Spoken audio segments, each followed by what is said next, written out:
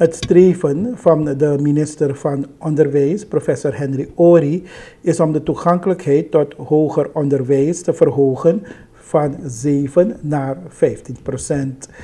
Op deze dinsdag heeft het ministerie van Onderwijs een persconferentie belegd, waar het accent gelegd is geworden op hoger onderwijs, met name ook de universitaire opleiding in Suriname. De voorzitter tot de eerste spreker hebben wij dan gehad, de minister van Onderwijs, gevolgd door mevrouw Ramotar, directeur van Hoger Onderwijs. En dan hebben wij gehad een presentatie van voorzitter Shanti Venetiaan van het bestuur van de Anton de Kom Universiteit van Suriname. En zij heeft het dan gehad over de accreditatie van de verschillende opleidingen. In totaal zijn er nu 14 bacheloropleidingen geaccrediteerd bij de universiteit en 8 masteropleidingen. Verder heeft het gehad over de uitdagingen bij de verschillende opleidingen, maar ook wat de mogelijke oplossingen zijn. We voeren u naar voorzitter van het ADEC-bestuur, Santi Vincian. Ja, ik geef u hier een beeld, weliswaar van de cijfers van het collegejaar dat net uh, afgerond is. We zijn nu bezig met de nieuwe inschrijvingen.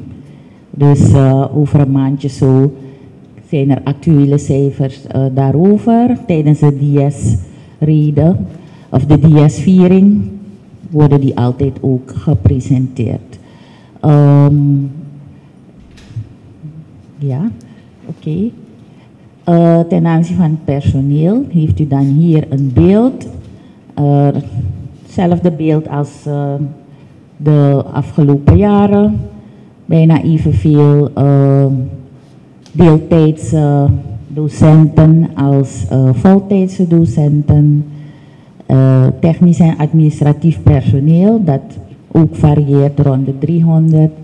En waar staat leraren, dat zijn dus voornamelijk de leraren die worden ingezet in het schakeljaar. Ja, volgende. Uh, op dit moment hebben we 14 geaccrediteerde bacheloropleidingen en 8 master. En we werken dus steeds verder om op een gegeven moment gewoon alle opleidingen geaccrediteerd te hebben. Zeker de reguliere. In het uh, afgelopen collegejaar zijn dus de bachelor en de master bedrijfskunde uh, geheraccrediteerd. Hetzelfde geldt voor de bachelor en de master psychologie. En uh, nieuwe accreditaties zijn geweest voor fysiotherapie, geschiedenis en taal en communicatie. En voor de ronde in november hebben we een nieuwe opleiding, een vernieuwde opleiding onderwijs en pedagogische wetenschappen. Wat uh, ANO was, is omgebouwd tot deze opleiding.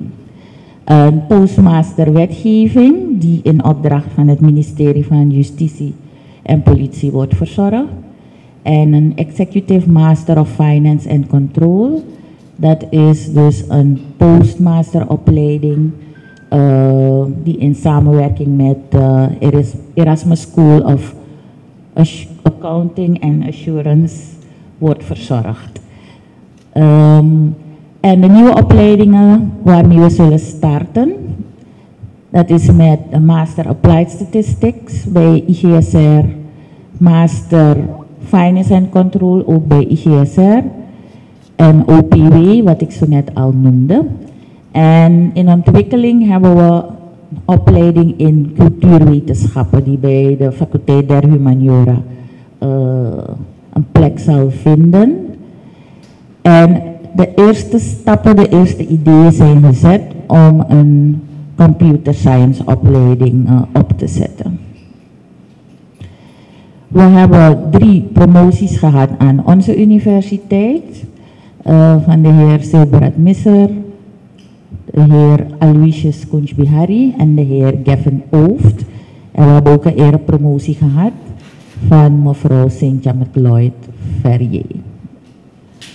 Ja, ik heb voornamelijk dus nu gesproken over onderwijsactiviteiten.